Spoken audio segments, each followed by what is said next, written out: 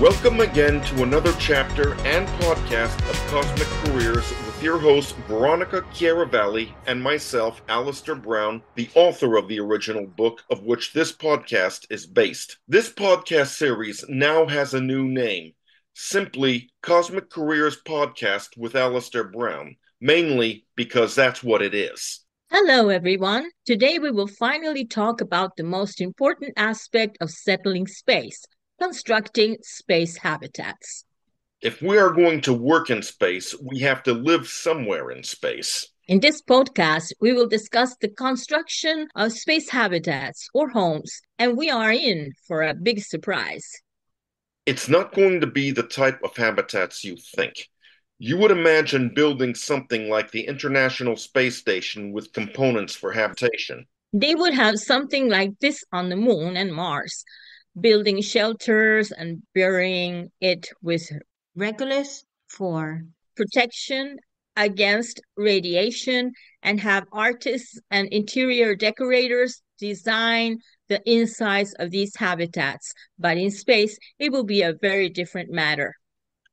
This will be a totally new and different concept, thought up by the late Gerard O'Neill, a physics professor from Princeton University. He felt that settling planets would mean leaving one gravity well, Earth, for another, like the Moon and Mars. He felt that it would be a waste of energy and resources to do this. His question was Is the surface of a planet really the right place for an expanding technological civilization? So the choice for future civilizations would be the moon, Mars, or somewhere else, like space. There is an infinite amount of space in all directions for humans to expand. Now, I don't agree with O'Neill's concept as the only alternative. I believe that we should settle on the moon, Mars, and other planets, but this is a good alternative, in addition to all the other options, but not instead of them. I would like to state that we will not discuss regular habitats like on the ISS or on the Moon and Mars, for these proposals for these modules are already constructed or are in the work, so I don't feel I need to mention them any further. This concept of O'Neill space habitats is the ideal place for people to work in zero gravity. And when their shift is done, they can go home and lay back in a one gravity environment and at the same time protect their bodies from bone deterioration. And we've discussed this in the previous podcast. This is one answer to that problem. A lot of what I am going to describe may be difficult to imagine, and since this is a podcast, not a video, you may want to see videos on YouTube about the habitats I'm about to describe to get a clearer understanding of all this. Better yet, I highly recommend you obtain a copy of The High Frontier by Gerard K. O'Neill. I usually don't recommend other books on my podcasts, but here I am willing to make an exception. It is illustrated and will give you a more detailed description, and it will astound you. Of course, you can also use your own imagination. I did have the privilege of meeting Dr. O'Neill at a conference in 1985, and he gave a lecture on these concepts to the last detail, and it was amazing. What exactly are the three types of space habitats in these unusual concepts? There are the Bernal sphere, the cylinder, and the torus, and these are a lot more complicated than they sound. That I can imagine. You can start with the Bernal sphere.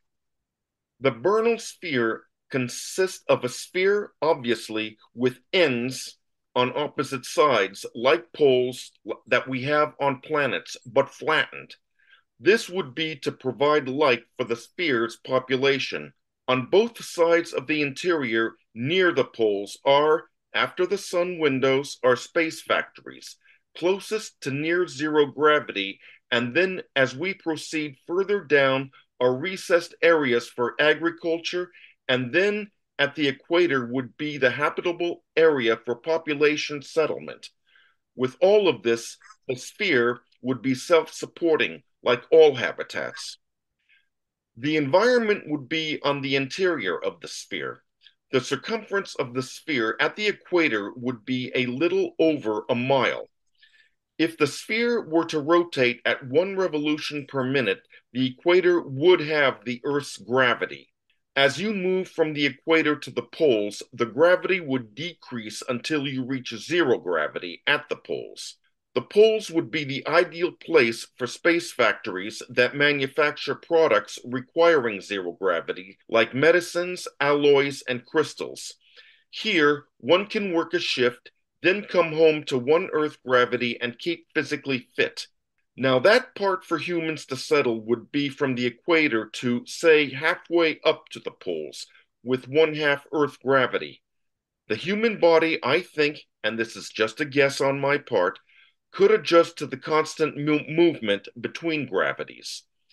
The area on the interior of the sphere would be covered with lunar regolith and grow trees, grass, even crops, and create waterways, parks, and build homes, shops, and theaters. Can you imagine a ballet performance in low gravity? This would look like a village in the countryside, each person having their own individual housing unit.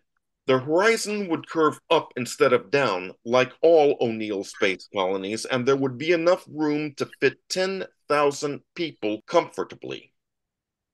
10,000 people in such a small area, but if you do the math, the area would be bigger than you think.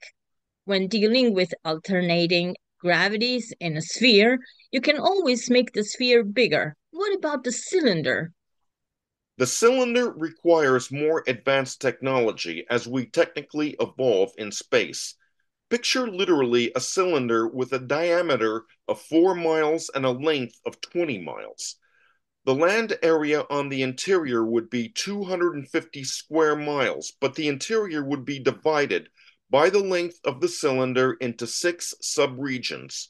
Three valleys to cover with lunar and or asteroidal soil to plant forests, create rivers with hills and valleys if one so desires. The other three would be windows to let in the sun, allowing for a day and night cycle. These would alternate between windows and valleys.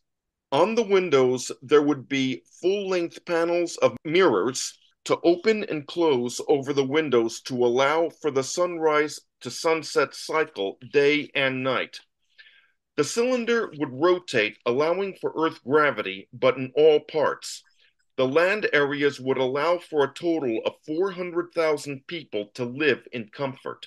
There would be many communities in all three valleys, possibly in small cities, but there would be access from one place to another, all over the cylinder. A regular or beaded torus connected above the axis facing the sun would be used for an agricultural area. Electric power would be underground from external power stations over cables laid as the community is built. Two of these cylinder habitats could be connected side by side by a cable with opposite rotations. What would the people here do for work? The work people would do in this environment may depend on the situation in space as a whole. Bernal spheres would be ideal places for space factories, but the cylinders may be a different set of circumstances altogether.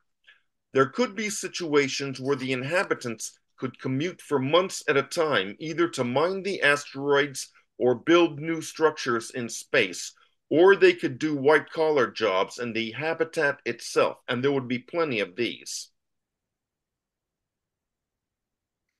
Tell us about the last form of habitation, the torus.